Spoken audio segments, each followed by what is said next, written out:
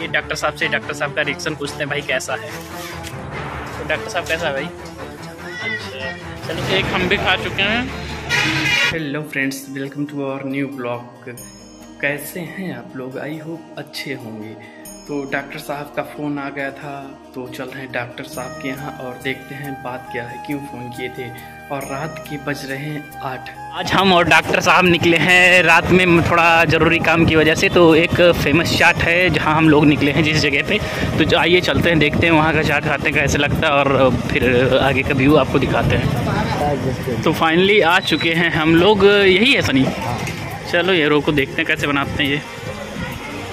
वैसे हम तो कभी यहाँ पे आए नहीं, वैसे डॉक्टर साहब कह रहे थे तो डॉक्टर साहब की वजह से यहाँ पे आए, देखे कैसे भाई साहब बनाते हैं, डॉक्टर साहब बड़ी बड़े बड़ाई कर रहे थे, उसे हमें भी लग रहा है ठीक ठाक ही बनेगा। चलिए कैसा बनता है, फिर आपको आगे हम दिखाते हैं। हम लोगों का भाई साहब टिकिया तैयार हो रहा है और तैयार होता है, फिर आपको दिखाते हैं कैसे बना हुआ है। वैसे डॉक्टर साहब बता रहे थे, काफ़ी ज़्यादा फ़ेमस है यहाँ बहुत अच्छा लगता है खाने में, काफ़ी स्वादिष्ट बनाते हैं। तो फाइनली हम लोगों को टिक्की मिल चुकी है, खाते फिर, बताते कैसा है। डॉक्टर साहब, खाओ फिर बताओ कैसा स्वाद है। ये डॉक्टर साहब से डॉक्टर साहब का रिएक्शन पूछते हैं, भाई कैसा है? तो डॉक्टर साहब, कैसा है भाई? अच्छा चलो कोई नहीं, डॉक्टर साहब हमें पहली बार यहाँ पे लेकर आए, अब यहाँ पे आएँगे तो हम खाएँगे। भाई वैसे अच्छा लग रहा है खाने में। काफ़ी ज़्यादा हो चुकी है यार, और डॉक्टर साहब चल ही नहीं रहे, काफ़ी ज़्यादा परेशान हो रहे हैं हम दिमाग ख़राब हो रहा है। देख रहे हैं, ये खाने के लिए चले गए पता नहीं क्या। रात के ग्यारह बज रहे भाई। और डॉक्टर साहब तो इधर खाने में लगे उन्हें खाने खाने की पड़ी है। हम सोच रहे कम से कम निकल जाए घर, और ये देख रहे हैं क्या कर रहे हैं। और डॉक्टर साहब, चलोगे भैया? बहुत तगड़े वाली नींद आ रखी है, और परेशान हो रहे हैं। डॉक्टर साहब तो नहीं नींद हैं। एक हम भी खा चुके हैं। फाइनली अब हम निकल चुके हैं।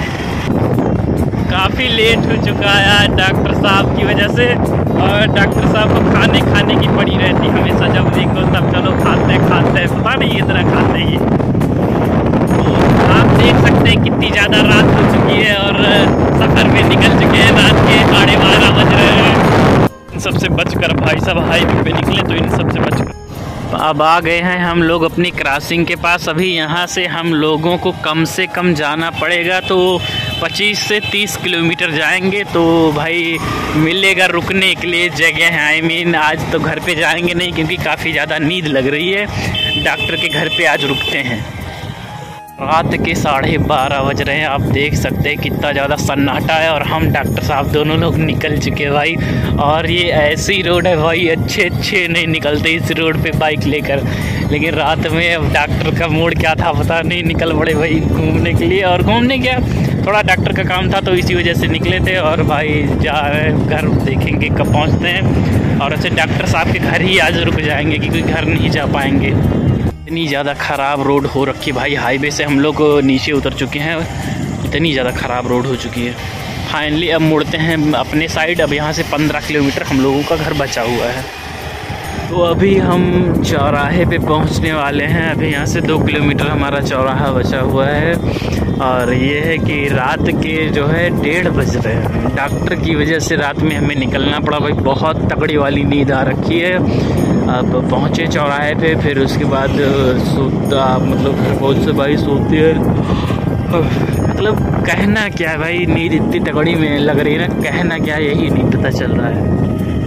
तो आ चुके हैं हम अपने चौराहे पे, जो कि मेरे चौराहे पे पहुँचते, पहुँचने के बाद कोई भी आएगा तो इतना है। जो मार्केट है, वो लमसम खुला रहता है। ग्यारह, साढ़े ग्यारह ज़्यादा ज़्यादा बारह बज जाता है। आपको दुकानें जो हैं, ज़्यादातर खुली मिलेंगी। लेकिन डेढ़ बज रहे हैं भाई, डेढ़। अब देख रहे हैं, सारी मार्केटें जो हैं, बंद हो चुकी इक्का दुक्का दुकान खुली होंगी, बस। इतनी तेज़ी तेज़ी से गाड़ियाँ आ रही भाई, क्रॉस करना हम लोगों को।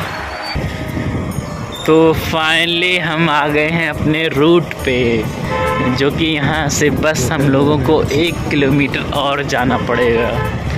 तो पहुँचते हैं भाई घर और इतना है कि लेट इतना ज़्यादा हो चुका है कि बता नहीं सकते। और रात के डेढ़ बज रहे भाई, डेढ़ सोएँगे कब और जगेंगे कब के